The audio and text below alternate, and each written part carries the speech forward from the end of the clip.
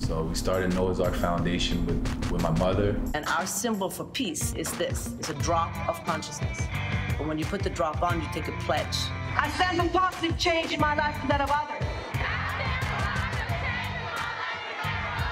250 kids stand up and do the pledge in unison. It was really powerful. When you put the drop in the water, you take it out, it goes like this. We, we appreciate that you want to be drops spreading out and that you will spread the message. Many small rivers make one giant fierce river. From dance to mural making to sculpting to DJing to tech, all of it inspired by the drop of consciousness and peace. Rock your drop. Come on, people, rock your drop for peace.